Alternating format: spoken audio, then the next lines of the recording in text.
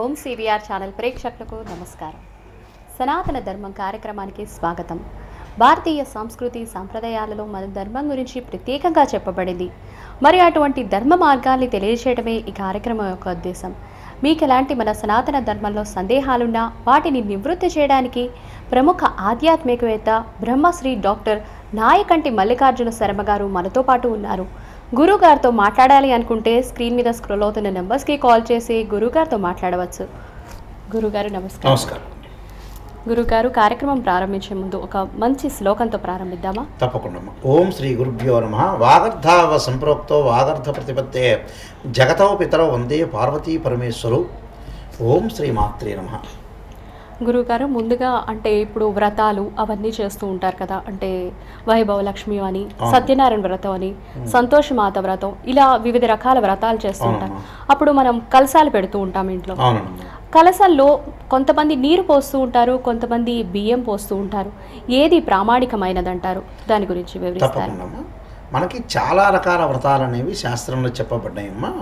వ్రతాల్లో మనకి సత్యనారాయణ స్వామి వ్రతం ఉంటుంది వైభవలక్ష్మి వ్రతం ఉంటుంది సంతోషమాత వ్రతం ఉంటుంది కేదారేశ్వర స్వామి వ్రతం ఉంటుంది అలానే పుత్ర గణపతి వ్రతాలు ఇలాంటి చాలా వ్రతాలు అనేవి వ్రతాలు అనేవి మనకి శాస్త్రంలో చెప్పబడ్డాయి. అంటే దేనికి దానికి కూడా ప్రతి మాసంలో చేసుకునే వ్రతాన్ని చెప్పబడినవి అలానే ప్రత్యేకంగా చెప్పబడే వ్రతాలు కూడా చాలా ఉన్నాయి వ్రతాలు. ఇక్కడ మనకి వ్రతం ఏంటి ఏంటంటే ఒక దీక్షతో చేసేది అని అర్థం. ఇక్కడ వ్రతాన్ని ఏదైతే మనం చేస్తుంటామో ఈ వ్రతం యొక్క ఫలితం అనేది ఒక రకంగా ఉంటుంది. ఇప్పుడు మనం సత్యనారాయణ స్వామి వ్రతం చేస్తుంటాం వైభవలక్ష్మి వ్రతం చేస్తున్నాం కేదారేశ్వర స్వామి వ్రతం చేస్తున్నాం అంటే స్త్రీలకి సౌభాగ్యం అంతా కూడా సర్వ సౌభాగ్యాలన్నీ కూడా కలగాలంటే ఏంటంటే కేదారేశ్వర స్వామి వ్రతం చేస్తుంటాం మనం. అలానే వివాహము సంతానము ఆరోగ్యము అష్టైశ్వర్యాలన్నీ కూడా కలగాలంటే సత్యనారాయణ స్వామి వ్రతం చేస్తుంటాం. అలా ప్రతి వ్రతానికి కూడా పుత్ర గణపతి వ్రతం ఉంటుంది. అంటే పుత్రులు కలగటానికి మనం పుత్ర గణపతి వ్రతం చేస్తుంటాం. అలా ప్రతిదానికి కూడా ఒక వ్రతం అనేది ఒక ఆచరించాలని శాస్త్రంలో చెప్పబడ్డాయి. ఎందుకంటే మన పురాణ ఇతిహాసాల్లో కానీ పద్దెనిమిది పురాణాల్లో కానీ ఉప పురాణాల్లో కానీ చాలా వాటిల్లో కూడా మనకి పురాణాల యొక్క పురాణాలు పురాణాలలో ఉండే వ్రతాల యొక్క విశిష్టతని చాలా బాగా చెప్పారు. అయితే వ్రతానికి ఎప్పుడైనా సరే మనం వ్రతాన్ని చేసుకునేటప్పుడు ఏమిటంటే సామాన్యంగా ఏంటంటే ఒక మండపారాధన చేస్తారు. ఆ మండపారాధనలో ఒక టవల్ కానీ లేకపోతే జాకెట్ పీస్ కానీ పెట్టిన తర్వాత దాని మీద బియ్యం పోస్తారు. బియ్యం పోసి నవగ్రహాలు పెడతారు. నవగ్రహాలు ఏంటంటే సత్యనారాయణ స్వామి నవగ్రహాలు పెడుతుంటారు అలానే మనకి నవగ్రహాలు పెట్టిన తర్వాత ఏంటంటే కలశం అనేది ఒకటి ఉంటుంది. ఆ కలశం అనేది ఎలా ఉంటుందంటే అది బ్రహ్మ విష్ణు రుద్ర శివాత్మికం అంటే త్రిమూర్తి కలశం అని అర్థం వాస్తవంగా అయితే. ఎందుకంటే మనకి త్రిమూర్తి సంబంధించిన పూజలు కూడా ఉంటాయి. అయితే ఈ కలశం అనేది ఏంటంటే ఒక స్వరూపంగా భావిస్తాం మనం. అంటే బ్రహ్మ విష్ణు రుద్ర స్వరూపంగా భావించి ఆ భావంలో ఏం చేస్తామంటే ఆ కలశంలో చాలామంది కూడా వర్ణాన్ని బట్టి కొంత మార్పు అనేది జరిగింది. ఈ వర్ణాన్ని అంటే రకరకాల వర్ణాల వాళ్ళు ఉన్నారు. ఇది మేము ఈ పద్ధతి ఆచరిస్తాం. ప్రాంతీయ ఆచారాలు దేశకాలమాన పరిస్థితుల ప్రకారంగా ఆ కలశంలో కొంతమంది బియ్యం పోయటం కొంతమంది ఒడ్లు పోయటం కొంతమంది వచ్చేటప్పటికల్లా గోధుమలు పోయటం నార్త్ ఇండియా వాళ్ళు గోధుమలు పోస్తుంటారు. కొంతమంది నీళ్ళు పోయటం అని. శాస్త్రీయంగా ఆధారంగా చెప్పబడింది ఏంటంటే ఖచ్చితంగా నీళ్ళు పోయటం అని చెప్పబడింది. ఎందుకంటే దాన్ని ఏంటంటే మనం ఏం చేస్తామంటే ఆ కలశంలో ఇప్పుడు కూడా గంగాదేవి జలంతో కూడుకున్నది అని అర్థం. అంటే గంగాదేవి జలం అనేది ఆ ఆ ఎప్పుడైతే ఆ చెంబులో ఉండాలని శాస్త్రం. మనం రాయి చెంబు తీసుకోవచ్చు వెండి చెంబు తీసుకోవచ్చు బంగారం తీసుకోవచ్చు. మనం ఏదైనా సరే ఒక చెంబుని తీసుకొని దాన్ని కలశంగా భావించి ఆ కలశంలో ఏంటంటే ముక్కోటి దేవతలు ఉంటారని. ఎప్పుడైతే కృష్ణ మనం మంత్రం చెప్పేట కూడా గంగే చెమ్నేచ కృష్ణ గోదావరి సరస్వతి అని మంత్రం చెప్తాం. అలా పంచగంగ ప్రకీర్తి అంటే ఐదు గంగలు ఉండేటట్టుగా మనం దానిలో నీళ్ళు పోస్తాం. ఆ నీళ్ళు పోసిన తర్వాత ఆ నీళ్ళలోనే భగవంతుడు ఉంటారని మనం ఒక అమ్మవారు ఉన్నారని భగవంతుడు ఉన్నారని ఆచరిస్తూ మనం ఆ చెంబులో నీళ్ళు పోస్తాం. నీళ్ళు పోయటమే శ్రేష్టం. నీళ్ళు పోయగానే చక్కగా దానిలో ఏం చేస్తామంటే పసుపు కుంకుమ ఓ చిల్లర కాయను అది వరకు పూర్వం రోజులు రాయికి కాయ రాయి కాయను వేసేవాళ్ళు. అలానే ఖర్జూర పండు అలానే ఒక్క వేసి మామిడి కొమ్మను పెట్టి చక్కగా ఒక కొబ్బరికాయ పెడతాం. ఆ కొబ్బరికాయ పెట్టిన తర్వాత మనం జాకెట్ పీస్ పెడతాం. ప్రాంతీయ ఆచారాల్లో ఇంకొక ఆచారం కూడా ఉంది ఇందులో. కొంతమంది ఏం చేస్తారంటే చాలామందికి కూడా కొంత అనుమానం ఏంటంటే సత్యనారాయణ స్వామి వ్రతం చేసేటప్పుడు ఆ కలశానికి పీచున్న కొబ్బరికాయ పెట్టాలా లేదా పీచు లేని కొబ్బరికాయ పెట్టాలా అని సందేహం ఆలోచన చేస్తుంటారు. కొన్ని ప్రాంతాల్లో మనకు ఆంధ్రప్రదేశ్లోని రాయలసీమ లాంటి ప్రాంతాల్లో పీచున్న కొబ్బరికాయ పెడుతుంటారు. సహజంగా ఏమిటంటే పీచున్నది పెట్టడానికి కారణం ఏంది? పీచు లేని పెట్టడానికి కారణం ఏంటంటే దానికి పెద్ద కారణాలు ఏమి? శాస్త్రీయ పరంగా చెప్పిన కారణాలు ఏం లేవు. ఒకవేళ చెంబు అనేది బిందె అనేది ఏదన్నా మనం పెట్టామనుకోండి కలసం అది పెద్దదైతే కొబ్బరికాయ మునుగుతుందని విషయాన్ని మాత్రమే చెప్పబడింది అక్కడ. మునిగిపోయింది అనుకోండి లోపలికి వెళ్తుందని వాళ్ళు ఏం చేస్తారంటే పీచులేని టెంకాయని పీచున్న కొబ్బరికాయని పెడతారు. ఆ పీచున్న కొబ్బరికాయని పెట్టడం మామిడి కొమ్మలు పెట్టడం. దాని మీద జాకెట్ పీస్ అనేది పెడతారు. ఆ జాకెట్ పీస్ కూడా కొంతమంది త్రికోణంగా పెడతారు కొంతమంది ఇలా వేస్తుంటారు ఇలాగ. అలా రెండు రకాలుగా ప్రాంతీయ ఆచారాలను బట్టి ఉంటుందమ్మా. శాస్త్రీయ పద్ధతిలో ప్రకారంగా అయితే ఆ చెంబులో నీళ్ళు మాత్రమే పుయ్యాలమ్మా ఓకే గురుగారు. ఇప్పుడు ఒక కాలర్ ఉన్నారని. మాట్లాడదాం గురుగారు. హలో నమస్తే అండి. మీ పేరు ఎక్కడి నుంచి చేస్తున్నారండి?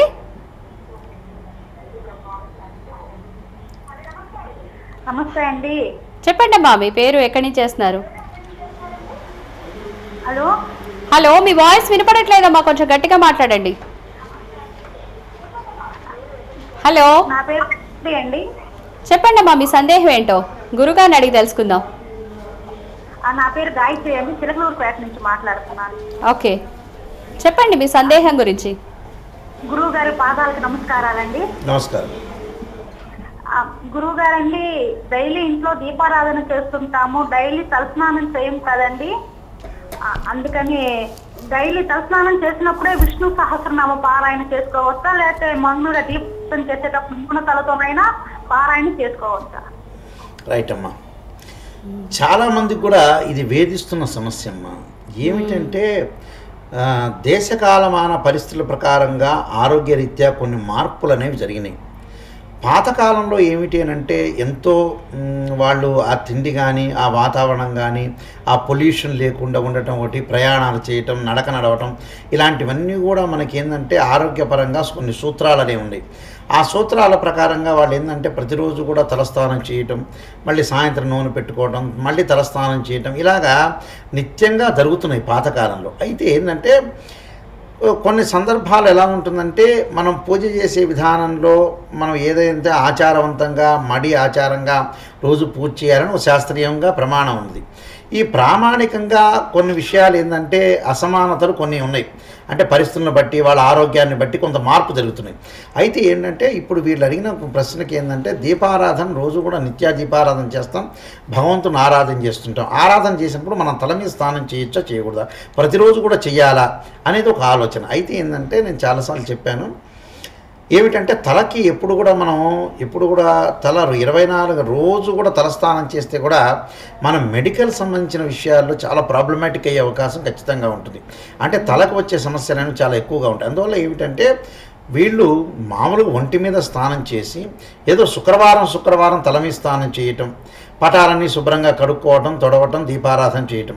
ప్రతిరోజు కూడా తలమి స్నానం చేయాల్సిన అవసరం ఏమీ లేదు అక్కడ. ఎందుకంటే అలా చేశారనుకోండి వాళ్ళకి జబ్బులు వచ్చే అవకాశం అనేది బాగా ఎక్కువగా ఉంటుంది. హెడేక్ ఉండొచ్చు రకరకాల మెడికల్ సంబంధించిన హెల్త్ సంబంధించిన ప్రాబ్లమాటిక్స్ వచ్చే అవకాశం ఖచ్చితంగా ఉంటుంది. ఎందుకంటే దేవుణ్ణి అనుసరించాలి తప్పదు. కానీ ఏంటంటే కొన్ని సందర్భాల్లో మన శరీరాన్ని బట్టి కూడా మనం ఆలోచన చేయాలనేది ఒక శాస్త్రంలో చెప్పబడింది. అందువల్ల తలస్థానం అవసరం లేదు. వాళ్ళు చక్కగా ఏదన్నా మీరు నూనె తలకి నూనె పెట్టుకొని కూడా వాళ్ళు చేయొచ్చు. ఎందుకంటే స్థా ఆ రోజు కుదరదు.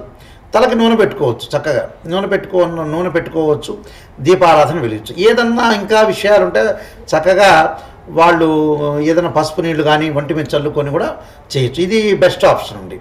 ఎందుకంటే పసుపు నీళ్ళకి ఎప్పుడైతే మనకి పుణ్యావాచన గోమూత్రంతో మనం పుణ్యావాచన చేస్తాం ఇంట్లో. అలానే పసుపు నీళ్ళు ఒంటి మీద చల్లుకొని తల మీద చల్లుకొని దీపారాధన చేయటం వల్ల దోషం అనేది ఎట్టి పరిస్థితిలో కూడా ఉండదు. నూనె కూడా అవసరం లేదు.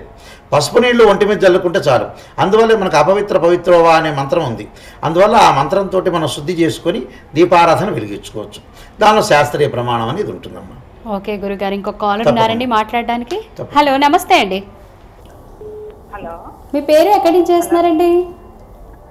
మేడం మా పేరు పద్మావతి మేడం. ఓకే పద్మావతి గారు చెప్పండి అమ్మా మీ సందేహం ఏంటో. అనంతపురం జిల్లా సార్ పద్మావతి కొత్త చెరువు నుంచి సార్. అడగండి అమ్మా మా కొడుకు ఆ, మా కొడుకు టైల్స్ షాప్ పెట్టినాడు. వ్యాపారం జరగలేదు సార్. ఓకే. వాళ్ళ అబ్బాయి టైల్స్ షాప్ పెట్టాడంట వ్యాపార అభివృద్ధి జరగలేదు అంట. ఏం చేస్తుంటాడమ్మా? బా టైల్స్ షాపా? అవును సార్ అవును స్వామి. నమస్కారం గురూజీ. నమస్కారం. చెప్పమ్మా. టైల్స్ వ్యాపారం పెట్టినాడు. సరిగా జరగలేదు సార్. అది మనము లీగల్ తీసుకొని పెట్టినాం. పదివేల రూపాయలు కట్టాలా. వ్యాపారం లేదు స్వామి. అవునమ్మా ఇక్కడ ఏంటంటే అమ్మా జాతకంలో దోషాలు ఏదన్నా ఉంటే అలాంటివి జరుగుతుంటమ్మా గురుబలం అనేది సరిగా లేకపోతే జ్యోతిష్య శాస్త్రరీత్యా గురుబలం అనేది అనుకూలంగా లేకపోతే మనకి ఏ వ్యాపారం చేసినా కలిసి రాదమ్మా. అందువల్ల ఆ గురువుకి సంబంధించిన దోషాలు మీరు పరిహారం చేసుకోండి. చేసుకుంటే మంచి మంచిగా జరిగే అవకాశం ఖచ్చితంగా ఉంటుందమ్మా. ఓకే గురుగారు ఇంకొక కాలర్ ఉన్నారండి మాట్లాడదాం సార్. హలో నమస్తే అండి. చెప్పండి. లక్షవత్తుల విశిష్టతల గురించి కొద్దిగా తెలపమని చెప్పరండి దయచేసి. ఎలా చేయాలా దాని విశిష్టత. తప్పకుండా. మా అడిగి. చెప్తాను. ఆ. గురుగారు. ఇక్కడ సామాన్యంగా ఏంటంటే మనం కార్తీక పౌర్ణమి రోజున చేసుకుంటారు ఈ లక్షోత్తర పూజ అనేది. ఎందుకంటే కార్తీక పౌర్ణమి రోజున ఎప్పుడు కూడా మనకి అన్ని మాసాల్లో కల్లా విశిష్టమైన మాసం ఏంటంటే కార్తీక మాసం. ఈ కార్తీక మాసంలో ఎప్పుడు కూడా మనకి కృత్తికా నక్షత్రంలో పౌర్ణమి వచ్చేదాన్ని మనం కార్తీక మాసం అంటాం. ఎందుకంటే స్కాంద పురాణంలో చెప్పబడింది. ఏమిటంటే మాసాల్లో కల్లా శ్రేష్టమైన మాసం ఏంటంటే కార్తీక మాసం. ఈ కార్తీక మాసంలో ఎప్పుడు కూడా కార్తీక వెలుగు అంటే కృత్తికా నక్షత్రం ఏంటంటే అగ్నితత్వం గల నక్షత్రం. అంటే అగ్నితత్వం గల నక్షత్రంలో దీపారాధన వెలగటం అగ్నిదేవుణ్ణి మనం భగవంతుని ఆరాధన చేయటం అనేది చేస్తుంటాం.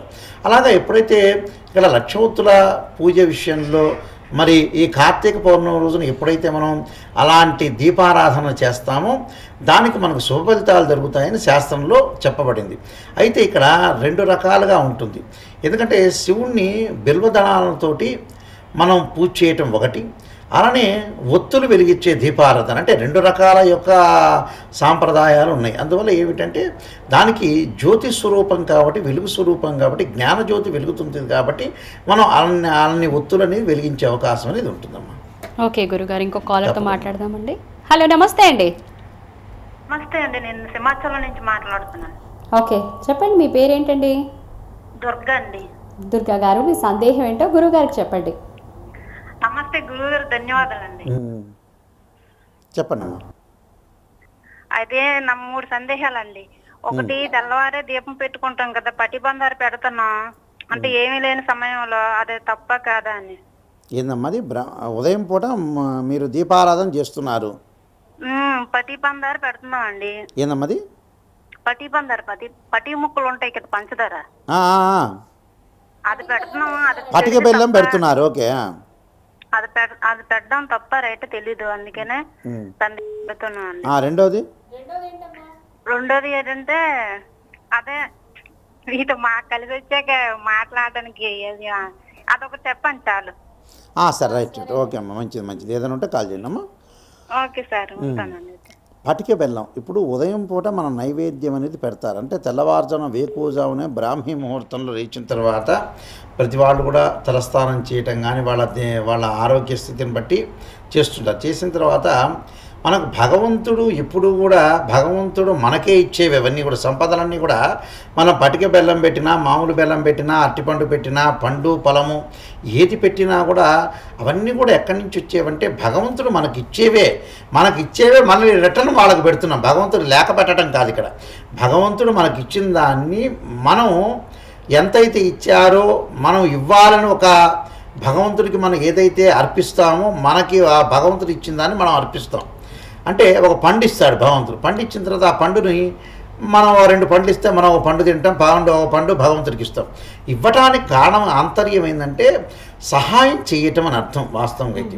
భగవంతుడు చాలామంది అనుకుంటారు భగవంతుడు ఇచ్చింది ఇచ్చిందాన్ని మనం ఇస్తున్నాం. ఇవ్వటం అనేది అలవాటు చేసుకోండి అనే ప్రక్రియ తెలపడానికి మాత్రమే చెప్పబడింది ఇది. నిజం చెప్పాలంటే వాళ్ళకి సహాయం చేయండి అని. ఎందుకంటే మనకి ఏదైతే పునరపి జననం పునరపి మరణం ఉందో అంటే పూర్వజన్మలో ఉండే కర్మబద్ధం అంతా కూడా తొలగటానికి సహాయం చేయండి అని చెప్పడానికి భగవంతుడి దగ్గర నుంచి ప్రారంభం అవుతుంది సహాయం చేయటం. అందువల్ల భగవంతుడికి లేక కాదు. ఇప్పుడు మనకి దేవాలయాల్లో ఉన్నారు. మరి భగవంతుడు అంతా తింటుంటే భక్తులు పెట్టగలుగుతారా? భక్తులకు మళ్ళీ నైవేద్యం ఉండదు అందువల్ల భగవంతుడి యొక్క ఎప్పుడైతే మనం పెట్టడానికి కారణం ఏంటంటే పటిక బెల్లం కానీ బెల్లం కానీ అరటిపండు కానీ ఏదో భగవంతుడికి ఒక నివేదన చేయాలి. ఇప్పుడు యజ్ఞం చేస్తున్నాం. యజ్ఞానికి ఆ యజ్ఞాన్ని మనం చేస్తుండగా ఆ యజ్ఞంలో మనం ఇప్పుడు కూడా నెయ్యి వేస్తుంటాం. అవిస్ చేస్తుంటాం అవిస్. అవిశ్వాసం ఇవన్నీ కూడా భగవంతుడికి లేక కాదు. భగవంతుడికి మనం అయితే ఎంతైతే ఇస్తుంటామో అంత ఫలితాన్ని మనకి కలుగజేస్తాడని అర్థం దానికి. అందువల్ల పటిక బెల్లం అనేది పురాతన కాలంలో పెట్టబడిందే. మామూలుగా అయితే వాస్తవంగా అయితే పూర్వకాలంలో పటిక బెల్లమే పెట్టారు. అందువల్ల పటిక బెల్లం ఆమె లక్షణంగా పర్ఫెక్ట్గా పెట్టుకోవచ్చు. ఆమె ఎలాంటి దోషం లేదు. పటిక బెల్లమే కాదు. బెల్లం పెట్టుకోవచ్చు పంచదార పెట్టుకోవచ్చు అరటిపండు పెట్టుకోవచ్చు. ఏదైనా సరే తమ శక్తి కొలది భగవంతుడు ఇది పెట్టండి నేను ఇదే తీసుకురాండి అని ఎప్పుడు ఏ శాస్త్రంలో కూడా చెప్పబడలేదు. మీ శక్తిని కొలది పెట్టండి. అంటే ఈ పెట్టడం ఏంటంటే సహాయం చేయడం దానికి అర్థం వాస్తవంగా అయితే. అదమ్మా. ఓకే గురుగారు. శివాలయంలో చండీ ప్రదక్షిణాలు ఏ విధంగా చేయాలంటారు? ఇది చాలా మంచి క్వశ్చన్ అమ్మా. చాలామంది కూడా ఏం చేస్తారంటే మనకి గణపతి ఆలయం ఉంటుంది. మనకు విష్ణు ఆలయం ఉంటుంది. గురుగారు దీని గురించి తెలుసుకునే ముందు ఒక కాలర్ వెయిట్ చేస్తున్నారండి. మనం. మాట్లాడదాం. హలో నమస్తే అండి. ఆ, నమస్కారం అండి. మీ పేరు ఎక్కడి నుంచి అండి నా పేరు శైల్యానండి రోజు చేయొచ్చా అండి? నేను ఫోన్ చేస్తున్నాను. చేయండి పర్లేదు మీ సందేహాలు ఏంటో తెలుసుకోవడానికే కదా నివృత్తికి. సందేహాలు బాగా చెప్తున్నారండి మీరు. ఎవరినన్నా పంతులు గారిని అడిగే కన్నా మీలాంటి వాళ్ళని అడిగితే సందేహాలు బాగా తీరుతున్నాయి. అందుకని రోజు ఫోన్ చేస్తున్నా నేను. తప్పకుండా అండి. చెప్పండి అండి మీ సందేహాలు ఏంటో. రోజు ఫోన్ చేస్తే ఏమన్నా అంటారేమోనని ఒక ఆలోచన ఉంది. మీ సందేహం అడగండి అమ్మా ముందు. మా ఇంట్లో స్ఫటికలింగం ఉంది గురువు గారు. స్ఫటికలింగం. ఆ స్ఫటికలింగానికి ఆడవాళ్ళు పూజ చేయొచ్చా? అభిషేకం చేసుకుంటా స్వామి నేను రోజు. ఓకే అమ్మా ఇంకో సందేహం ఏంటి? ఇంకొకటి తొమలపాకులు మనకి మామిడాకులు దొరకట్లేదండి. నిత్య నేను తొమలపాకులు తోరణం కట్టుకుంటున్నాను. ఓకే. ఆ తొమలపాకులకి ఒక ఆంజనేయ స్వామి గుళ్ళో చూశాను. సాంబ్రాణి కడ్డె పుల్లతో గుచ్చారు తాడికి. అలా సాంబ్రాణి కడ్డీ పుల్లతో తొమలపాకులకు తోరణం లాగా కట్టుకోవచ్చా ఓకే. ఇంకొక ఇంకొక ప్రశ్న గురువు గారు. చెప్పండి అమ్మా నిత్య దీపారాధనలో సాయంత్రం పూట కూడా పూజ చేస్తాం కదా? గన్నేరు పూలు సాయం సాయంత్రం వాడిపోతున్నాయి అయ్యా. వాటిని అలానే ఉంచి పూజ చేసుకోవచ్చా? తీసే తీసి మళ్ళీ పూజ వేరే పూలు పెట్టుకోవాలా. తప్పకుండానమ్మా గురుగారు చెప్తారు మీ సందేహాలన్నిటికీ పరిష్కారం. గురుగారు ఫస్ట్ స్ఫటిక లింగానికి అభిషేకం. మా ఇంట్లో స్ఫటిక లింగం ఉంది. దానికి రోజు అభిషేకం చేస్తున్నాను. అలా చేయవచ్చా? మంచి క్వశ్చన్ దేవ మామూలుగా ఏమిటనంటే శాస్త్ర ప్రమాణం ప్రకారంగా ఎప్పుడు కూడా శివలింగానికి మనం అర్చన చేసేటప్పుడు మగవాళ్ళు మాత్రమే రుద్రాభిషేకాలు కానీ ఏకాదశ మహాన్యాస రుద్రాభిషేకాలు కానీ పాస్పత రుద్రాభిషేకాలు కానీ ఇవన్నీ కూడా మామూలుగా ఏమిటంటే మగవాళ్ళే ఆచరించాలి. అభిషేకాలు ఉంటాయి. రుద్ర నమ్మక చమకాలతో అభిషేకం చేస్తుంటారు. అభిషేకం చేసేది ఏంటంటే మగవాళ్ళని మాత్రమే కూర్చోబెట్టడానికి శాస్త్రీయ ప్రమాణాలన్నీ కూడా ఉన్నాయి. కారణం రకరకాల కారణం ఉన్నాయి. ఎందుకంటే ఫస్ట్ కారణం వచ్చేటప్పటికి ఏంటంటే మగవాళ్ళు చేయాలనే కారణానికి ఏంటంటే పరమేశ్వరుడు శ్మశానం వారి యొక్క స్థలం. అయితే రుద్రస్వరూపుడు అలానే వారు కైలాసంలో ఉంటారు. ఈ దీని యొక్క కారణాల చేత ఏంటంటే మగవాళ్ళే చేయాలని శాస్త్రంలో చెప్పబడ్డాయి. అయితే ఆడవాళ్ళు చేయొచ్చా చేయకూడదా అనేది ఒక సందేహం చాలామంది కూడా. రుద్ర నమక చమకాలు మరి ఏదైతే వేదోక్తంగా స్వరయుక్తంగా పురాణోక్తంగా చెప్పేటప్పుడు బ్రాహ్మణ చేత చే బ్రాహ్మణులు ఎప్పుడైతే చేపించే చోట వాళ్ళు మగవాళ్ళు మాత్రమే కూర్చోవాలి. దంపతులు కూర్చోకూడదా అంటే పక్కన కూర్చోవచ్చు. దానిలో తప్పు లేదు. కానీ ఏమిటంటే మనకి శాస్త్రంలో ఎలా ఉంటుందంటే ఒక మనిషి చనిపోతే శ్మశానానికి ఆడవాళ్ళు వెళ్ళరు. అది రుద్రభూమి అని చెప్పబడుతుంది. మగవాళ్ళు మాత్రమే వెళ్తారు. అది రుద్రభూమి కాబట్టి ఆడవాళ్ళు వెళ్ళకూడదు. అనే ఒక ఉద్దేశంతో చెప్పబడి అలానే పరమేశ్వరుని కొలిచేటప్పుడు కూడా మగవాళ్ళు అభిషేకం చేయాలని చెప్పబడింది. అయితే మగవాళ్ళు పంచామృతాన్ని పోస్తే ఆడవాళ్ళు పక్కన కూర్చోవచ్చు. దాని తప్పేం లేదు అక్కడ. స్పెషల్గా సింగిల్గా చేయకూడదని చెప్పబడింది ఇక్కడ. చాలామంది కూడా తెలియని విషయం ఏంటంటే ఆడవాళ్ళు ఒక్కళ్ళు మాత్రమే కూర్చోకూడదు కానీ మగవాళ్ళతో జంటగా కూర్చొని మన అభిషేకాలు కానీ క్షేత్రాలు కానీ దర్శనం చేస్తుంటే నమస్కారం చేసుకుంటే దాని తప్పేమీ లేదు. అయితే ఇక్కడ ఈమె స్ఫటికలింగానికి గురించి చెప్పింది. ఆ స్ఫటికలింగానికి ఎప్పుడు కూడా ప్రతిరోజు కూడా అభిషేకం అనేది ఏంటంటే ఆడవాళ్ళు చేయొచ్చా చేయకూడదు అనే పద్ధతిలో వాస్తవంగా అయిందంటే దానిలో మనం ఇంటిలో లేనప్పుడు ఆ స్ఫటికలింగం కింద నీళ్ళు పెట్టాలి. ఊరికే ఉండకూడదు. అంటే జల గంగాధరుడు కాబట్టి పరమేశ్వరుడు ఒక మనం ఒకటి ఒక మూత తీసుకొని ఏదన్నా ఒక ప్లేట్ తీసుకొని ఆ ప్లేట్లో నీళ్ళు పోసి శివలింగం అనేది పెట్టాలి. అదొకటి. ఆ శివలింగానికి ఈమె చేయొచ్చా చేయకూడదా అంటే ఈమె అభిషేకంగా చేసేది. రుద్రముఖముఖాలు సురయుక్తంగా వేదం నేర్చుకుంటేనే తెలిసేది. ఆమె చేసేది ఓం నమ శివాయ మాత్రం లేదా అష్టోత్తరం. ఆ అష్టోత్తరం చేసుకోవచ్చు తప్పేం లేదు. ఆ ఓం శివాయ నమ మహేశ్వరాయ నమ అని అష్టోత్తరం చేసుకోవచ్చు తప్పేం లేదు. అదే ప్రాబ్లం ఏం లేదమ్మా. రెండో క్వశ్చన్ రెండోది తమలపాకులు ఉన్నాయి కదా గురుగారు తమలపాకులు అంటే మామిడాకులతో తోరణాలు కడుతూ ఉంటారు కదా. నాకు దొరకట్లేదండి. నేను తొమలపాకులతో తోరణాలు కడుతున్నాను. గుళ్ళో కూడా సామ్రాణి కడ్డీలు ఉంటాయి కదా. వాటికి తమలపాకులతో గుచ్చి చేస్తున్నారు. అలా అది అసలు మామిడి ఏంటంటే. మామిడి తోరణం అనేది కట్టుకోవాలి. అసలు మామిడి ఆకే శ్రేష్టమైంది ఫస్ట్ పాయింట్. తమలపాకులు ఏంటంటే మన నవగ్రహాల పూజలు చేసేటప్పుడు తమలపాకులతో ఆంజనేయ స్వామి యొక్క పూజ చేసేటప్పుడు మనం పెట్టుకుంటాం తాంబూలాలు ఇచ్చేటప్పుడు. మామిడి కొమ్మలి పురకోస కట్టి మామిడి కొమ్మలి ఇంటి ముఖద్వారానికి కట్టాలి. అలా ఆంజనేయ స్వామి దేవాలయంలో కానీ ఎక్కడైనా సరే మామూలుగా కట్టుకోవాలి. అయితే ఏంటంటే స్పెషల్గా ఆంజనేయ స్వామి దేవాలయంలో తమలపాకులు కట్టుకోవచ్చు. మన ఆంజనేయ స్వామితో ఆకు పూజ అనేది ఒకటి చేస్తాం మనం. ఆ సింధూరం పూయటం ఆకు పూజ చేయటం ఇవన్నీ చేస్తుంటాం కాబట్టి దానిలో కేవలం ఏంటంటే ఆంజనేయ స్వామి దేవాలయంలో తమలపాకులు అనేది కట్టచ్చు. దానిలో తప్పేం లేదు. కానీ ఫస్ట్ ప్రయారిటీ ఇప్పుడు కూడా మామిడి కొమ్మలతోనే పురుకోస్తో కట్టడం అనేది చాలా మంచిది. మూడో క్వశ్చన్ అంటే రోజు నిత్య దీపారాధన చేస్తూ ఉంటారు కదండి. సంధ్యా దీపం కూడా వెలిగిస్తూ ఉంటారు సంధ్యాదీపం కూడా వెలగచ్చు వెలిగించుకోవచ్చు. అంటే పొద్దున్న వెలిగించి పూలు పెట్టి అంతా చేస్తూ ఉంటారు. మళ్ళీ వాడిపోతుంటే ఆ పూలు మళ్ళీ వేరే పూలు తీసుకొచ్చి కూడా పెట్టచ్చు సాయంత్రం పూట ఆ నిర్మాల్యం అంతా తీసేయాలా అలాగే ఉంచాలా అని అడుగుతున్నారు. అవి ఏమిటంటే సాయంత్రం పూట చేసే పూజకి ఎలా ఉంటుందంటే ఉదయం పూట అంతా కూడా మనం పూలు పెడతాం. పూలు పెట్టిన తర్వాత సాయంత్రం పూట సంధ్యా సమయంలో ఆ పూలు తీసేసి వేరే పూలు పెట్టచ్చా పెట్టకూడదు అనేది ఒక సందేహం. వాస్తవంగా ఏంటంటే ఉదయం పూట చేసిన పూజని ఎప్పుడు కూడా సాయంత్రంతో పాటు సమానమే. అందువల్ల పూలు అలానే ఉంచి మళ్ళీ వేరే పూలు తీసుకొచ్చి అది వాడిపోయినా సరే వేరే పూలు తీసుకొచ్చి దాన్ని పూజ చేయి. తప్పే లేదు దాన్ని పూజ చేసుకోవచ్చమ్మా. అది తీయాల్సిన అవసరము ఏమీ లేదు. ఓకే గురుగారు.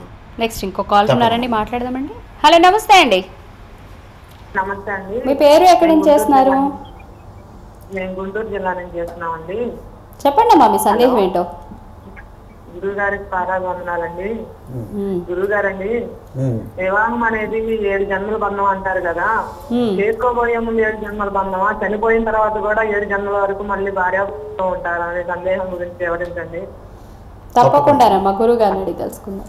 ఇక్కడ వీరు అడిగిన క్వశ్చన్లు ఏంటంటే భార్యాభర్తల యొక్క బంధం అనేది ఏడు జన్మల బంధము అని చెప్పబడిందని చెబుతుంది. ఇక్కడ ఏడు జన్మల బంధము అని అంటే దాని యొక్క భాష్యం అనేది వేరుగా ఉంటుంది. ఎప్పుడు కూడా ఏడు తరాలు చూడాలి అంటారు. అంటే ఒక వివాహం చేసుకునేప్పుడు సాంప్రదాయంలో ఏంటంటే ఏడు తరాలు చూసి వాళ్ళకి వివాహం చేయాలని చెప్పబడుతుంది. ఏడు తరాలు ఎందుకు కావాలంటే చూడాలంటే అర్థం ఏంటంటే వాళ్ళకి ఎప్పుడైతే అమ్మాయి అబ్బాయి చేసుకునేటప్పుడు వాళ్ళ యొక్క క్యారెక్టర్ అనేది చాలా ఇంపార్టెంట్. వాళ్ళు ఎంతవరకు కలిసి ఉంటారు? వాళ్ళ తండ్రి గారు ఏం చేసింటారు? తాతగారు తాతగారు ఏం చేస్తారు? ముత్తాతగారు ఏం చేస్తారు? వాళ్ళ యొక్క కుటుంబ విషయాలు ఏమిటి? మనకు సరిపోతారా లేరా? మరి ఏదైతే ఈ మగపిల్లవాడికి కానీ ఆడపిల్లవాళ్ళకి కానీ కరెక్ట్ పద్ధతిలో వీళ్ళు ఉండగలుగుతారా? భార్యాభర్తల యొక్క బాండింగ్ అనేది ఎలా ఎలా ఉంటుంది? వాళ్ళ యొక్క కలిసి ఎలా నడుస్తారు? అనే విశేషాలకి ఏడు ఏడు తరాలు చూడమంటారు. వివాహానికి ఏమో చెప్తున్నది ఏంటంటే వివాహానికి ఏడు తరాల బంధం అంటే ఏడు జన్మల బంధం ఉంటుందా అని అడిగారు. ఇది చాలా మంచి క్వశ్చనే ఎందుకంటే ఎప్పుడైతే భార్యాభర్తలు వివాహం చేసుకున్నారో మళ్ళీ వివాహం చేసుకున్న తర్వాత మరణించిన తర్వాత వాళ్ళు పుట్టచ్చు పుట్టకపోవచ్చు. ఏ కులంలో పుడతారో ఏ స్థలంలో పుడతారో ఎవరికీ కూడా తెలియని విషయం ఇది కూడా. ఎందుకంటే పూర్వజన్మలో ఉండే కర్మ ఫలితాన్ని బట్టి వాళ్ళు పుట్టే అవకాశం అనేది ఉంటుంది. అయితే ఇక్కడ ఏడు జన్మల బంధము అని ఎందుకన్నారంటే ఒక జంతు రూపేణ పుట్టచ్చు ఒక మనిషి రూపంలో పుట్టచ్చు ఒక పక్షి రూపంలో పుట్టచ్చు. అంటే ఒక జన్మలో ఉండే బంధము మిగతా జన్మాల్లో కూడా వాళ్ళు అలాని బంధాన్నే కలిసి కొనసాగించాలని ఒక సిద్ధాంతం. ఆ సిద్ధాంతం అయితే వాళ్ళు జంతువుకు పుట్టచ్చు పక్షికి పుట్టచ్చు మనిషికి పుట్టచ్చు. లేకపోతే ఇద్దరు కూడా పుట్టచ్చు పుట్టకపోవచ్చు. ఇక్కడ ఏంటంటే ఏడు జన్మల బంధం అనేది కలిసి వచ్చేటట్టుగా మళ్ళీ మనం మంచి చేయాలి అందరూ ప్రజలకు సహాయం చేయాలి మన ఇద్దరు అన్యోన్యంగా ఉండాలి భార్యాభర్తలు ఇద్దరు కూడా అన్యోన్యంగా ఉండాలి సహాయం చేస్తుండాలి భగవంతుని ఆరాధన చేయటం వల్ల మళ్ళీ మనిషి జన్మ ఎత్తాలి. ఆ మనిషి జన్మ ఏడు సార్లు ఎత్తాలని శాస్త్రంలో చెప్పబడింది. ఆ ఏడు జన్మల బంధం అంటే వాళ్ళిద్దరు భార్యాభర్తలు కావాలి మళ్ళీ మనుషులుగా ఏడు సార్లు మనం పుట్టాలని అంటాం అదే ఏడు జన్మల బంధం అంటారు.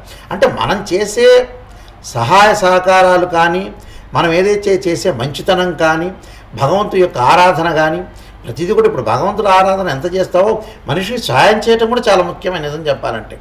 అలాగా ఏడు జన్మల బంధం అని చెప్పబడింది. అంటే మన సహాయం చేయటం అనేది ఇంపార్టెంట్ ఇక్కడ. చాలా చక్కగా వివరించారు గురుగారు. ఇప్పుడు కాలర్. మాట్లాడదాం. హలో నమస్తే అండి. నమస్కారం అండి. మీ పేరు ఎక్కడి నుంచి చేస్తున్నారండి? చెప్పండి అండి మీ సందేహం ఏంటో?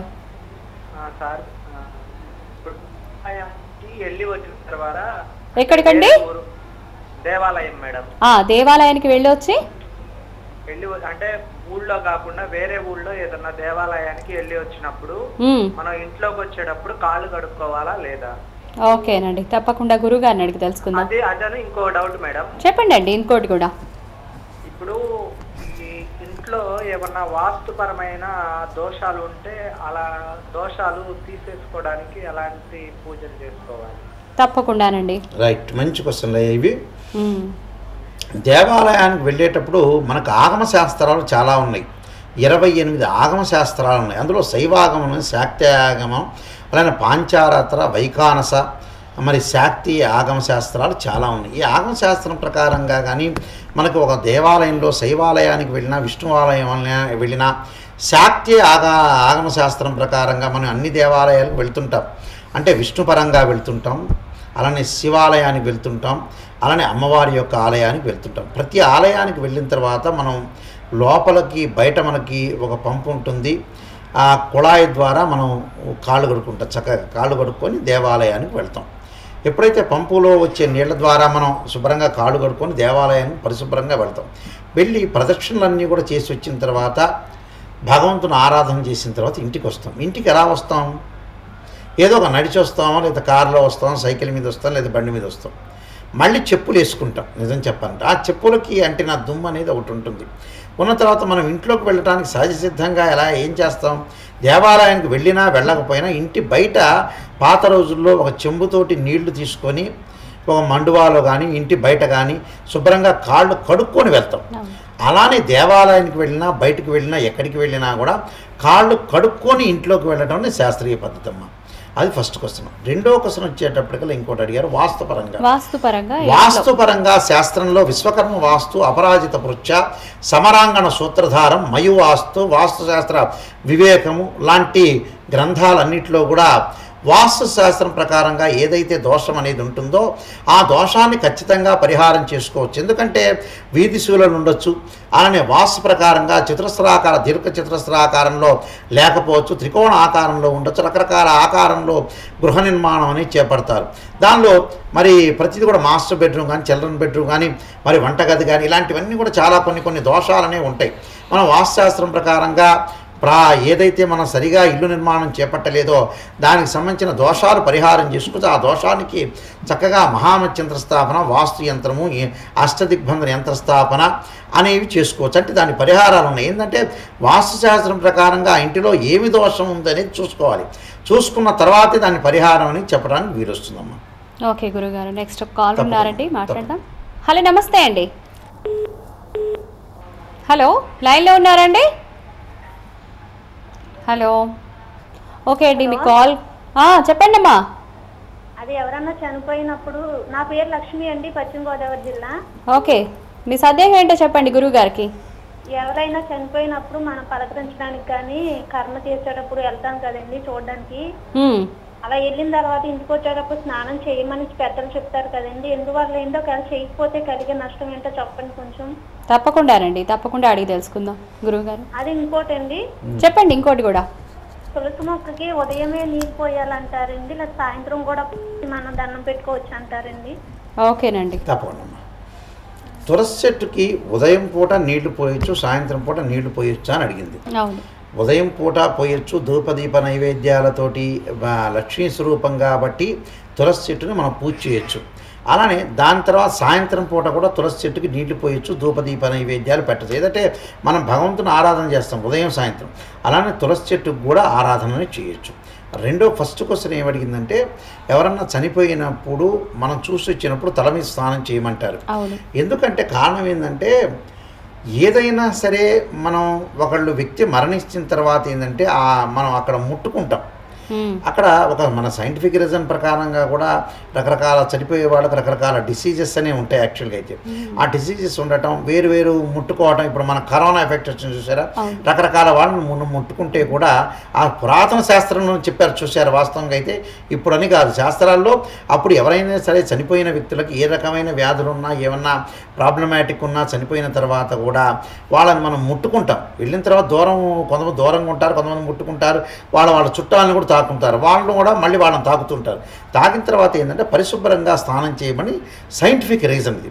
శాస్త్రంలో చెప్పటం ఏంటంటే చనిపోయిన వాళ్ళు ఎవరైతే ఉంటారో వీళ్ళు ఇంతటితోటి అయిపోయింది వీళ్ళు ఎప్పుడైతే కైలాసంలో చేరారు అంటే అమ్మవారి దగ్గర చేరారు అంటే కైలాసం ఏంటంటే గంగాధరుడు కాబట్టి ఎప్పుడైతే భగవంతుడు ఈ మరణించిన వాళ్ళు ఎవరైతే కైలాసంలో చేరారని గంగాధరుడి దగ్గరికి చేరారని మనం ఆ గంగతోటి అంటే తలమి స్నానం చేస్తాం వాస్తవం ఇది. ఒక సైంటిఫిక్ రీజన్ ప్రకారంగా స్నానం చేస్తాం ప్రామాణికంగా కూడా మనం తలస్నానం చేయటం అనేది చాలా ఇంపార్టెంట్ ఇక్కడ. ఓకే గురుగారు. నెక్స్ట్ ఇంకో కాలర్తో మాట్లాడదామండి. హలో నమస్తే అండి.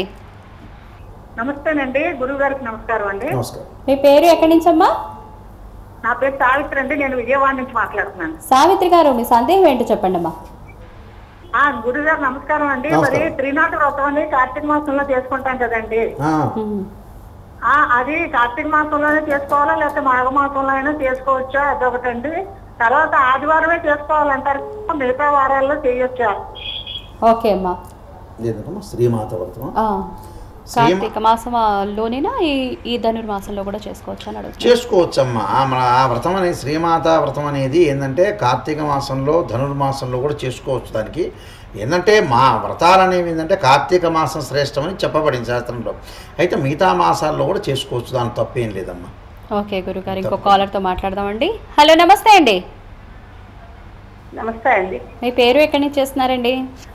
ఆ, నేను తానండి లక్ష్మి అండి లక్ష్మి గారు చెప్పండి అమ్మా మీ సందేహం ఏంటో?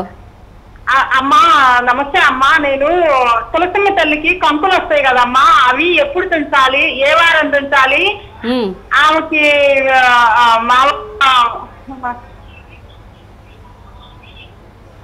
కాడలేని పూలు పెట్టొచ్చా అమ్మా? రెండు సందేహాలమ్మా. తప్పకుండా అమ్మా. అంతేనా అమ్మా? అమ్మా. అంతేనమ్మా మీ సందేహం తులసి మాత గురించేనా? తులసమ్మ తలాలు కూడా ఇప్పుడు మా ఆదివారం మంగళవారం శుక్రవారం ఏకాదశి తుంచకూడదు అమ్మా. వేరే వారాల్లో తుంచితే. ఏమని తుంచాలి? ఓకేనమ్మా తప్పకుండా గురుగారిని అడిగి తెలుసుకుందాం మనం? తులసి మొక్కని అంటే తుంచకూడదు. అంటే వాటికి కాడలు వస్తూ ఉంటాయి కదా అది. ఎప్పుడు తుంచాలి ఎలా? ఆదివారం మంగళవారం శుక్రవారం రోజు తుంచకుండా ఉంటే మంచిది. మిగతా రోజులు తుంచుకోవచ్చు తప్పేం లేదు. ఏంటంటే ఏ చెట్టునైనా కూడా మనం ప్రతి చెట్టుకి మనం అలా అనుకోని ఇప్పుడు మామిడి పండ్లు మామిడి చెట్లు ఉంటాయి అలానే దానిమ్మ చెట్లు ఉంటాయి అరటి పండ్లు అరటి చెట్లు ఉంటాయి. మామిడి చెట్టు కూడా దేవతా స్వరూపమే. వేప చెట్టు ఉంటుంది వేప చెట్టు కూడా దేవతా స్వరూపమే. మన అమ్మవారి సంబంధించి తులసి చెట్టు కూడా దేవతా స్వరూపమే. అన్ని చెట్లుని మనం చుం తుంచకూడదనంటే ప్రపంచంలో ఏ చెట్టు కూడా తుంచలేం. కొబ్బరి చెట్టు కూడా తుంచకూడదు అది కూడా దేవతా స్వరూపమే. అందువల్ల ఏమిటంటే ఆదివారం మనం తుంచేటప్పుడు ఏంటంటే భగవంతుని ఆరాధన చేసి పసుపు కుంకుమ అక్షంతలు వేసి తుంచవచ్చు కానీ ఆదివారం ముఖ్యంగా ఏంటంటే మంగళవారం శుక్రవారం తెప్పకూడదు. ఓకే. అది మిగతా వారాలు మనం తెంపుకోవచ్చు తప్పేం లేదు. భగవంతుని ఆరాధన చేసి తెంపచ్చు ఏం ప్రాబ్లం లేదు. ఓకే గురుగారు ఇంకో. కాలర్తో మాట్లాడదామండి. హలో నమస్తే అండి. నమస్తే అండి. మీ పేరు ఎక్కడి నుంచి చేస్తున్నారండి? వెంకటరమణ అండి గుంటూరు నుండి. ఓకే వెంకటరమణ గారు మీ సందేహం ఏంటో చెప్పండి అమ్మా గురువు గారికి నమస్కారం గురుగారండి. నమస్కారం అమ్మా. శివాలయము అమ్మవారు కలిపి ఉన్నారండి. మనం ప్రదక్షిణ చేయాలంటే ఇద్దరికి కలిపి చేయాలి. సపరేట్గా చేయటానికి ఉండదు. నేను పాతిక సంవత్సరాల నుంచి మామూలుగా కుడివైపుగా తిరిగి ప్రదక్షిణ చేస్తున్నాను. కానీ ఇప్పుడు కొంతమంది ఐదారు సంవత్సరాల నుంచి శంకు ప్రదక్షిణ అని శివాలయము ఆ, నీళ్ళు బయట దాకా వెళ్ళి మళ్ళీ వెనక వైపుకి వచ్చి మళ్ళీ అటు వచ్చి మళ్ళీ ఇలా తిరుగుతున్నారు. అలా శివాలయం నీళ్ళు దాటకూడదు అంటున్నారు. మరి ఇటువైపుకి వస్తే అప్పుడు అమ్మవారికి ఎడం వైపున తిరిగినట్టు అవుతుంది కదా. అలా చేయొచ్చా? మామూలుగా నీళ్ళు దాటకుండా ఇలాగ రౌండ్ గానే చేయవచ్చా? కుడి చేతి వైపుగా కొంచెం వివరించండి. దీన్ని చండీశ్వర ప్రదర్శనం అంటారు. చాలామందికి కూడా ఈ విషయం తెలియదు. ఒక ఐదారు సంవత్సరాల నుంచి ఇది ఉందని అంటారు కానీ ఇప్పుడు ఎలా ఉంటుందంటే శాస్త్ర ప్రమాణం ఏంటంటే మన దగ్గరికి వచ్చిన తర్వాత అది శాస్త్రం ఐదారు సంవత్సరాలు పది సంవత్సరాలు అంటారు కానీ మనకు తెలియకపోవచ్చు కానీ గతం రోజుల్లో శాస్త్రం ఉన్నదే ఇది. చాలామంది కూడా జ్యోతిష్యం వాస్తు శాస్త్రాలకు సంబంధించిన విషయాలు కానీ ధర్మ సందేహాలు గతంలో ఎక్కడుంది ఎక్కడుంది అని అంటారు. కానీ మనకు తెలియనంత మాత్రాన శాస్త్రం ఉండకుండా ఉండదు. ఇప్పుడు చాలా చోట్ల కూడా ఇప్పుడు అమెరికాలో ఉన్న వస్తువులు ఇండియాలో రావాలంటే చాలా సంవత్సరాలు పడుతుంది. మనకి తెలియదని అమెరికా వాళ్ళకి తెలియదని తప్పు కదా. అందువల్ల ఇవి శాస్త్రంలో ఉన్నవే గత కాలంలో చెప్పబడినవే. అయితే మనుషుల దగ్గరికి వచ్చేటప్పటికల్లా మనకి ప్రత్యేకంగా మన మీడియా ద్వారా వచ్చేటప్పటికి దగ్గరికి అయినాయి వాస్తవంగా అయితే. అంటే ఇవన్నీ కూడా మనం చెప్పడం అనేది శుభపరిణామం వాళ్ళందరికీ తెలుస్తుంది మన ఛానల్ నుంచి చెప్తుంటే. దీన్ని చండీశ్వర ప్రదర్శనం అంటారు ఇందాక కూడా మనం దీని గురించి ఆ, మాట్లాడుకున్నాం శివాలయంలో చండీ ఆ, ప్రదర్శన శివాలయం గురించి చండీశ్వర ప్రదర్శనం అంటారు. చండీశ్వర ప్రదర్శనం అంటే ఏంటంటే గృహస్థుడు ఒకలాగా చేయాలి బ్రహ్మచారి ఒకలాగా చేయాలి అలానే సన్యాసి ఒకలాగా చేయాలని శైవాగమం అని చెప్తుంది. ఈ శైవాగమ శాస్త్రంలో ఇలానే చేయాలని దానిలో చెప్పబడింది. ఎందుకంటే మనకి గృహస్థుడు వచ్చేటప్పటికల్లా మనకి ఐదు ముఖాలతో ఉన్నవాడు పరమేశ్వరుడు. ఈ ఐదు ముఖాల్లో ఉన్న వ్యక్తికి ఎప్పుడైతే ఉన్న భగవత్ స్వరూపాన్ని ఎప్పుడు కూడా దేవాలయాలన్నీ సాధారణంగా ఏంటంటే తూర్పు దిక్కులో ఉంటాయి. శివాలయాలన్నీ కూడా. అయితే కొన్ని కొన్ని ప్రాంతాల్లో పశ్చిమ ముఖంలో ఉన్న దేవాలయాలు కూడా వేరే వేరే స్టేట్లలో ఉన్నాయి. సాధారణంగా ఎక్కువగా తూర్పు ముఖంలో ఉంటాయి. ఈ తూర్పు ముఖంలో ఉన్న సాధారణంగా దేవాలయంలో గృహస్థుడు ఒకలాగా అలానే సన్యాసి ఒకలాగా బ్రహ్మచారి ఒకలాగా చెప్పబడింది. ఇక్కడ గృహస్థుడు ఏం చేయాలంటే అక్కడ ఎప్పుడు కూడా తూర్పు వైపు ఉన్న దేవాలయానికి ఎడమ చేయి వైపు వెళ్తారు. అంటే దేవాలయాన్ని ధ్వజస్తంభం దగ్గర నమస్కారం చేసుకుంటారు. నమస్కారం చేసుకుని ఎడమ చేతి వైపు తిరుగుతాడు. తిరగంగానే మనకి ఎలా ఉంటుందంటే ఉత్తరం వైపు సోమసూత్రం అనేది ఒకటి ఉంటుంది. ఆ పానుమట్టం అని ఉంటారు సోమసూత్రం వైపు అది దాటకూడదని అర్థం. అక్కడ చండీశ్వర చండీశ్వరుడి యొక్క స్థానం అని అర్థం. ఆ చండీశ్వరుడి యొక్క స్థానంలో ఎప్పుడైతే ఆ చండీశ్వర స్థానాన్ని మనం దాటకూడదు. ఎందుకంటే మన ఎప్పుడైతే శైవాలయాల్లో మరి ఇప్పుడు ఎప్పుడైతే శైవాలయంలో అక్కడ అయ్యవారు ఉంటారు అమ్మవారు ఉంటారు ఉండంగా వాళ్ళిద్దరు ఎప్పుడైతే శివుడి యొక్క అభిషేకం చేసిన తీర్థ నీళ్ళన్నీ కూడా పంచామృతాలన్నీ కూడా సోమసూత్రం ద్వారా వెళ్తుంటాయి. ఈ సోమసూత్రం ద్వారా వెళ్ళే దాన్ని దారిని మనం తొక్కకూడదని చెప్పబడింది. ఎప్పుడైతే గృహస్థుడు సవ్యంగా ప్రదర్శన చేసి ఆ సోమసూత్రం దగ్గరికి వచ్చి మళ్ళీ వెనక్కి తిరిగి వస్తాడు. వెనక్కి తిరిగి వచ్చి మళ్ళీ సోమసూత్రం దగ్గరికి వచ్చి మళ్ళీ ధ్వజస్తంభానికి వెనక్కి వచ్చి దేవాలయంలోకి వెళ్తాడు. దాన్ని చండీశ్వర స్వా చండీశ్వర ప్రదర్శనం అంటారు. దీన్ని ఇది గృహస్థుడు చేసేది. అలానే బ్రహ్మచారి చేసేది ఏంటంటే పూర్ణ ప్రదక్షిణం అంటారు. అంటే బ్రహ్మచారి చుట్టూ తిరగచ్చు అని చెప్పబడింది. పూర్ణ ప్రదక్షిణం అంటారు. అలానే సన్యాసి. సన్యాసి ఏం చేయాలంటే మరి ఎప్పుడైతే తూర్పు ముఖంలో ఉండే దేవాలయానికి అపసవ్యంగా తిరుగుతాడు. అపసవ్యంగా తిరిగి మరి ప్రదక్షిణ చేయదాన్ని మనం చండీశ్వర ప్రదర్శనం అంటారు. అది పూర్ణ ప్రదక్షిణం కూడా అంటారు. అంటే గృహస్థుడు ఒకలాగా సన్యాసి ఒకలాగా బ్రహ్మచారి ఒకలాగా చేయాలని శాస్త్రంలో చెప్పబడిందమ్మా. దాన్ని చండీశ్వర స్వామి ప్రదక్షిణం అంటారు. పూర్వకాలమే కాదు ఎప్పుడు కూడా శైవాగమ శాస్త్రంలో ఆగమాలని మనం ఇందాక చెప్పుకున్నాం కదా శైవాగమంలో ఇలానే చెప్పబడింది. అందులో శైవ శివాలయంలో ప్రదక్షిణ చేసేటప్పుడు పదఘట్టన వినపడకూడదట. అది అందువల్ల ఇవన్నీ కూడా శాస్త్రంలో చెప్పబడ్డాయి. మరి ఆడవాళ్ళ గురించి అంటారు. ఆడవాళ్ళు కూడా ప్రదక్షిణ చేస్తారు. ఆడవాళ్ళు కూడా గృహస్థులు ఇలానే చెయ్యాలి. ఇదే ఆడవాళ్ళైనా మగవాళ్ళైనా గృహస్థులు. ఇప్పుడు ఆడవాళ్ళు మ్యారేజ్ కాలేదనుకుని వివాహం అలా చేయాలి గృహస్థుడు అని అంటే ఏంటంటే ఆమె కూడా గృహస్థురాలు అని అర్థం. కాబట్టి గృహస్థుడైనా గృహస్థురాలైనా సవ్య అపసవ్య ప్రదక్షిణ చేయాలి. బ్రహ్మచారి పూర్ణ ప్రదక్షిణ చేయాలి ఇలాగా శైవాగం ఇలానే చేయాలని చెప్పబడింది. కాబట్టి మరి శైవాగం శాస్త్రాన్ని బట్టి మనం అనుసరించి ముందుకు వెళ్ళాలి. దీన్నే చండీశ్వరుడి యొక్క ప్రదక్షిణ అర్థం. ఓకే అమ్మా. చాలా చక్కగా వివరించారండి. ఒక కాలర్ ఉన్నారు మాట్లాడదాం. హలో నమస్తే అండి. హలో మీ కాల్ కలిసిందండి మాట్లాడండి. ఆ, నమస్తే అండి గురువు గారు నమస్తే అండి. మీ పేరు ఎక్కడి నుంచి చేస్తున్నారమ్మా? నా పేరు ప్రసన్న అండి తెనాల నుంచి. చెప్పండి ప్రసూన గారు మీ సందేహం ఏంటో గురుగారికి? ఆ సందేహం ఏంటంటే అండి ఇప్పుడు ఆడవాళ్ళకి భర్త చనిపోతే మూడు నెలల తర్వాత పుట్టింటికలు నిద్ర చేయకపోతే ఎక్కడ చేయొచ్చండి? ఓకేనండి గురుగారిని అడుగుదాం. అంటే ఆడవాళ్ళు భర్త చనిపోతే మూడు నెలల తర్వాత పుట్టింటికి వెళ్ళి నిద్ర చేయాలి కదా అది కుదరని పక్షంలో ఎక్కడికి వెళ్ళి నిద్ర చేయాలి అంటున్నారు. పుట్టింటికి వెళ్ళటం అనేది ఖచ్చితంగా వెళ్ళాలని శాస్త్రంలో చెప్పబడ్డది. అయితే ఏంటంటే కొంతమందికి పుట్టింటి లేకపోతే ఏంటంటే వాళ్ళ చుట్టాలు దగ్గర వాళ్ళు వాళ్ళు వీళ్ళు మేనమామ సంబంధించిన వాళ్ళు రకరకాల వ్యక్తులు ఉంటారు. అలాంటి వా- అలాంటి చోట కూడా వెళ్ళి చేయొచ్చు తప్పులేదు ఎందుకంటే పుట్టిండ్లు అంటే ఇక్కడ ఏంటంటే ఎప్పుడైతే ఒక అమ్మాయికి వాళ్ళ అమ్మ తరఫు నుంచి వాళ్ళు ఎవరైతే బంధువులు ఉంటారో వాళ్ళ ఇంట్లో కూడా వాళ్ళ ఇళ్ళల్లో కూడా చేయొచ్చు. ఇప్పుడు పుట్టిల్లు అంటే ఏమిటి? ఒక అమ్మాయికి కానీ తండ్రి తరఫున వాళ్ళు అని అర్థం. అంటే తల్లి తండ్రి అన్నదమ్ములు. ఇలాంటి వాళ్ళ దగ్గర ఎవరైనా సరే ఆమె పుట్టింట్లోకి వెళ్ళి నిద్ర చేసి రావచ్చు. ఓకే. గుళ్ళో అంటే ఆ తల్లిదండ్రులకు సంబంధించిన వాళ్ళు ఎవరైనా సరే. ఓకే. ఎందుకంటే వాళ్ళ తల్లి తరఫున బంధువులు కానీ తండ్రి తరఫున బంధువులు కానీ ఎవరైనా ఉన్నారనుకోండి వాళ్ళ ఇంట్లో కూడా చేయొచ్చు. అలానే గుళ్ళో కూడా గుళ్ళో కూడా నిద్ర- గుళ్ళో కూడా నిద్ర చేయొచ్చు. ఓకే గురుగారు ఒక. కాల్ ఉన్నారు మాట్లాడదామండి. హలో నమస్తే అండి. హలో నమస్తే గురుగారు. మీ పేరు ఎక్కడి నుంచి చేస్తున్నారమ్మా? రాజమండ్రి చెప్పండి సత్యవతి గారు మీ సందేహం ఏంటో? మూడు సందేహాలు ఉన్నాయి మీరు కొంచెం గట్టిగా మాట్లాడి మీ సందేహాలు చెప్పండి.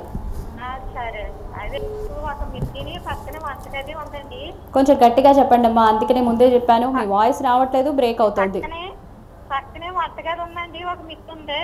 ఓకే.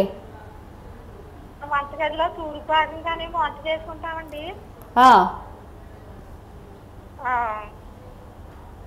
చెప్పండి అమ్మా మీ సందేహం ఏంటి? అత్త కోడలు ఇద్దరు వంట చేసుకుంటున్నారు. అయితే? ఉత్తర భాగంగా అరమాలు ఉందండి. ఏంటమ్మా? ఉత్తర ఉత్తర భా- ఉత్తరం ఉత్తరానికి ఉందండి అరమాలు దేవుడి అరమాలు. ఆ, అదే ఉత్తర భాగంగా దేవుడిని పెట్టుకుని ఆ వంటింట్లో పెట్టుకుని చేసుకోవచ్చండి ఓకేనమ్మా తప్పకుండా. ఉత్తరముఖంగా దేవుణ్ణి పెట్టుకొని వంటింట్లో మనం పూజ చేసుకోవచ్చా? చేసుకోవచ్చమ్మా. శాస్త్రం ప్రకారంగా వాస్తుశాస్త్రం ప్రకారంగా ఏంటంటే ఈశాన్య భాగంలో దేవుడు పెట్టాలని లేకపోతే అది కుదరని పక్షంలో ఒక వంటగదిలో ఈశాన్య భాగంలో దేవుడు గదిని నిర్మించుకోవాలని శాస్త్రంలో చెప్పబడింది. అది కుదరని పక్షంలో ఉత్తర భాగంలో కూడా ఉత్తర ఈశాన్యంలో కూడా దేవుణ్ణి ఆరాధన చేసుకోవచ్చు. దానిలో తప్పు లేదమ్మా. ఓకే గురుగారు. పెట్టుకోవచ్చమ్మా. ఓకేనండి ఇంకొక కాలర్తో మాట్లాడదాం మనం. హలో నమస్తే అండి. నమస్తే అండి. నా పేరు విజయలక్ష్మి అండి. తెనాల నుంచి మాట్లాడుతున్నాను. విజయలక్ష్మి గారు మీ సందేహం ఏంటో చెప్పండి. అదే మనం వెంకటేశ్వర స్వామి గుడికి కానీ ఆంజనేయ స్వామి గుడికి కానీ వెళ్ళేటప్పుడు తలస్నానం చేసి వెళ్ళాలా? ఖచ్చితంగా లేదా మామూలు స్నానం చేసైనా వెళ్ళొచ్చా? ఓకేనండి. మనం ఈ సందేహాన్ని గురుగారిని అడిగి తెలుసుకుందాం. తప్పకుండా అమ్మా. వెంకటేశ్వర స్వామి దేవాలయమే కాదు ఆంజనేయ స్వామి దేవాలయం కాదు. అమ్మవారు ఉన్నారు శివుడు ఉన్నాడు సాయిబాబా దేవాలయం రాఘవేంద్ర స్వామి చాలామంది మనకి ముక్కోటి దేవతలందరూ ఉన్నారు. అయితే దేవాలయానికి వెళ్ళేటప్పుడు తలస్నానం చేయటం అనేది మంచిదే. కానీ దేవాలయానికి వెళ్ళాలనుకుంటారు మనకు ఒంట్లో బాగుండదు ఖచ్చితంగా భగవంతుని దర్శనం చేస్తారు అవి చేయాలనుకుంటారు. అనుకున్న వాళ్ళకి ఏమిటి పరిష్కారం? ఏమిటి చేయాలనుకుంటారు? వాస్తవంగా దీనిలో ధర్మ సందేహంలో ఒక సందేహం. అయితే దీనికి కారణం ఏంటంటే ఎప్పుడు కూడా ఒక గ్లాసులో నీళ్ళు వేసుకొని పసుపు వేసుకొని ఆ పసుపుతోటి మనం ప్రోక్షణ చేసుకొని వెళ్ళొచ్చు దానిలో తప్పు లేదు. ఎందుకంటే కారణం ఏంటంటే దేశకాలమాన పరిస్థితులు ఒకటి. ఆరోగ్యరీత్యా కూడా మనకి సహకరించకపోయినా భగవంతుని దర్శించాలని మనకి శాస్త్రంలో చెప్పబడ్డాయి. ఎందుకంటే ఇప్పుడు శాస్త్రంలో ఏమిటంటే కొన్ని వందల సంవత్సరాల క్రితం కూడా కృతయుగం త్రేతాయుగం ద్వాపరయుగం కలియుగాల్లో కూడా ఎంతో మహామునులు కూడా వాళ్ళు పరిశుభ్రత లేకపోయినా భగవంతుడి యొక్క ఆరాధన వల్ల విభూతి ఒంటికి రాసుకుంటే పరిశుభ్రత అవుతామనే ఒక ఉద్దేశంతో శాస్త్రంలో చెప్పబడ్డాయి. అందువల్ల ఎప్పుడూ కూడా పసుపు నీళ్ళతోటి ప్రోక్షణ చేసుకోవటం కానీ విభూది రాసుకోవటం కానీ చేయటం వల్ల కూడా మన తల మీద స్థానంతో సమానమని శాస్త్రంలో చెప్పబడింది కాబట్టి తల మీద స్నానం చేసినా చేయకపోయినా భగవంతుని ఆరాధన చేయొచ్చు. దానిలో తప్పు లేదు. భగవంతుడు ఎప్పుడూ కూడా ప్రజల్ని శిక్షించాలనుకోడు కానీ రక్షించాలని అనుకుంటాడు. అమ్ముడు అందువల్లే ఆయన భగవంతుడు అయ్యాడు కప్పల్ అందువల్ల ఏమిటంటే ఎప్పుడు కూడా భగవంతుడి విషయంలో మనం మనసా వాచ కర్మణ లగ్నం చేసి భగవంతుని ఆరాధన ఓ నమశివాయ ఉండొచ్చు ఓ నారాయణాయన మనం ఉండొచ్చు. ఏదైనా సరే మనం భగవంతుని నామస్మరణ చేస్తేనే మనం పునీతం అయిపోతామని శాస్త్రంలో చెప్పబడిందమ్మా. తప్పకుండా గురువు గారు కాల్ ఉన్నారు మాట్లాడదామండి. హలో నమస్తే అండి. నమస్తే మేడం. మీ పేరు ఎక్కడి నుంచి చేస్తున్నారండి? నా పేరు చంటి అండి విజయవాడ. చంటి గారు మీ సందేహం ఏంటో గురుగారికి చెప్పండి. ఇప్పుడు మన నవగ్రహాలు ఉన్నాయి కదా మేడం? అవునండి. ఆ నవగ్రహాల్లో ఇటు ఫస్ట్ శుక్రుడు ఉంటాడు అటు శని ఉంటాడు. ఎటు నుంచి ప్రదర్శన చేయాలి? ఓకేనండి. గురువు గారు రైట్. మంచి క్వశ్చన్ అయ్యా వినండి. మనం మొట్టమొదటగా సహజంగా దేవాలయానికి వెళ్ళినప్పుడు శివాలయాల్లోని శివాలయాల్లోనే నవగ్రహాలని ఈశాన్య భాగంలో మరి ఆగమ శాస్త్రం ప్రకారంగా శైవాగమ శాస్త్రం ప్రకారంగా చెప్పబడ్డాయి. మనం మొట్టమొదటగా శివాలయాన్ని దర్శించుకునే ముందు దివా శివాలయాన్ని దర్శించుకొని లోపలికి వెళ్ళిన తర్వాత కొంత భాగం తిరిగిన తర్వాత ఈశాన్యంలో నవగ్రహాలు ఉంటాయి నవగ్రహాల యొక్క ప్రదర్శన చేస్తాం మనం. ఈ నవగ్రహాల యొక్క ప్రదర్శన చేసిన తర్వాత చండీ ప్రదర్శన అయిపోయిన తర్వాత నవగ్రహాల ప్రదర్శన చేసిన తర్వాత నవగ్రహాలకు ఎప్పుడైతే మనం ప్రదర్శన చేస్తూ ఉంటామో చేస్తూ ఉన్నప్పుడు ఫస్ట్ మనం పూర్వాభిముఖం అంటే తూర్పు వైపు నిలబడాలి. అంటే దేవాలయం అనేది శివాలయం అనేది సాధారణంగా తూర్పు అంటే పూర్వాభిముఖం ఉంటుంది అని అర్థం. పూర్వాభిముఖం అంటే ఏంటంటే తూర్పు భాగం తూర్పు భాగం వైపు ఉంటుంది. అంటే శివుడిని శివుడు ఎప్పుడు కూడా తూర్పును చూస్తూ ఉంటాడు అర్థం. సూర్యకిరణాలు శివలింగం మీద పడుతున్నాయని అర్థం. అప్పుడు ఎప్పుడైతే మనం తూర్పు ముఖంలాగా అంటే మన కరెక్ట్గా మధ్యలో మనకు నవగ్రహాల్లో మధ్యలో సూర్యుడు ఉంటాడు. ఆ సూర్యుడు మనకి ఎప్పుడైతే చూస్తూ ఉంటాడు ఆ సూర్యుడి వైపు మనం ముఖం పెట్టి ప్రదర్శన చేయటం అనేది శాస్త్రపరంగా చెప్పబడింది. అయితే ఇక్కడ ఇంకొక విషయం ప్రత్యేక విషయం అనేది ఉంది. జాగ్రత్తగా ఆలోచన చేయాలి. ఇక్కడ సూర్యముఖాన్ని బట్టి సూర్యుడు వెనక్కి వైపోతాడు. సూర్యుడు ముఖం వచ్చేట తూర్పు భాగంలో ఉంటుంది. అంటే దేవాలయం ఎలా ఉంటుందో సూర్య భగవానుడు అలానే ఉంటాడు. అంటే తూర్పు వైపు ఉంటాడు. ఇక్కడ ఎప్పుడైతే తూర్పా పూర్వాభిముఖంలో ఉంటే మనం ఎప్పుడైతే సూర్యుడి వైపు ఉండి మనం ప్రదక్షిణ చేయటం అనేది చాలా శాస్త్రపరంగా ఉంటుందమ్మా. ఎందుకంటే సూర్యుడు ఇటు ఉన్నాడు అనుకోండి తూర్పు వైపు ఉంటాడు. ఉండగానే ఆ సూర్యుడికి నమస్కారం చేస్తాం మనం తిరిగి. నమస్కారం చేసి మనం ఎడమ వైపు తిరుగుతాం. ఎడమవైపు తిరగగానే కొద్ది దూరం రాగానే పశ్చిమ ముఖంలో మనకి శనీశ్వరుడు ఉంటాడు. అలానే తిరుగుతాం మళ్ళీ తూర్పు ముఖంలో వచ్చేస్తాం. ఇక్కడ ఎప్పుడైతే మనకి సూర్యుడు ఎప్పుడైతే మనం ఎదురుగా ఉంటాడో అక్కడి నుంచి మనం సవ్యంగా ప్రదర్శన చేయాలని శాస్త్రంలో చెప్పబడింది. ఓకే గురుగారు అలా ఉంటుందమ్మా. ఓకే అండి తప్పకుండా ఇంకొక కాలర్ ఉన్నారు మాట్లాడదాం తప్పకుండా. గురుగారు. హలో నమస్తే అండి. హలో నమస్తే మేడం. మీ పేరు ఎక్కడి నుంచి చేస్తున్నారండి? మాది ఒంగోలు డిస్టిక్ నా పేరు గురువర్ధన మేడం. చెప్పండి అమ్మా మీ సందేహం ఏంటో? నాకు ఒక కళ వస్తుంది మేడం నాలుగు సంవత్సరాల నుంచి గురువు గారిని అడుగుదామని చేశాను. తప్పకుండానండి మీ కళ ఏంటో చెప్పండి గురుగారికి నాకు చిన్నపిల్లలు బాత్రూమ్ కూర్చున్నట్టు తొక్కినట్టు కళ వస్తుంది మేడం నాలుగు రోజులు ఐదు రోజులకి నైట్ నిద్రలో. అది. మంచిదా కాదా తెలుసుకుందామని? తప్పకుండా అమ్మా. అంటే చిన్నపిల్లలు బాత్రూమ్కి వెళ్తున్నట్టు ఆవిడకి నాలుగు ఐదు రోజుల నుంచి ఇదే కళ వస్తుందంట. ఏం లేదమ్మా దానిలో కీడు శంకించేది ఏమీ లేదు. దానిలో కీడు శంకించేది లేదు శుభ శంకించేది ఏమీ లేదు. కానీ అది ఏంటంటే కళలు ఏంటంటే స్వప్న శాస్త్రంలో చెప్పబడిందమ్మా కళలు. ఏంటంటే చెడు కళలు మంచి కళలు అనేవి. ఇలా బాత్రూమ్కి వెళ్ళటం అనేది చెడ్డ కళ ఏమీ కాదు ఇది. మా అచ్చం మంచి కళ కాదు కానీ శుభమైన క అశుభానికి శుభానికి మధ్యలో ఉండే మిశ్రమైన కళ. దీని గురించి మీరు విచారణ ఆందోళన చెందాల్సిన పని లేదు. అది సాధారణంగా వచ్చే కళ కాబట్టి దాన్ని ఏం ఆలోచించాల్సిన పని ఏమీ లేదమ్మా. ఓకే గురుగారు ఒక కాలర్ ఉన్నారండి మనతో. మాట్లాడడానికి మాట్లాడదామండి. హలో? ఓకే మీ కాల్ కట్ అయిందండి. ఓకే ఇవాళతో ఈ కార్యక్రమం ముగిసింది. మళ్ళీ రేపటి కార్యక్రమానికి మళ్ళీ కాల్ చేసి మాట్లాడవచ్చు. ఓకేనా? గురుగారు మేము అడిగిన ప్రశ్నలకి అలాగే కాలర్స్ అడిగిన ప్రశ్నలకి శివాలయంలో చండీ ప్రదక్షిణల గురించి ఇలా అనేక విషయాలు మాకు తెలియపరిచినందుకు ధన్యవాదాలు. గురుగారు. చూసారు కదండి ఇవాటి సనాతన ధర్మంలో మనం అనేక అంశాల గురించి అనేక విషయాల గురించి గురువుగారిని అడిగి తెలుసుకున్నాం మరో కార్యక్రమంలో మరో చక్కటి అంశంతో మళ్ళీ కలుసుకుందాం. అంతవరకు చూస్తూనే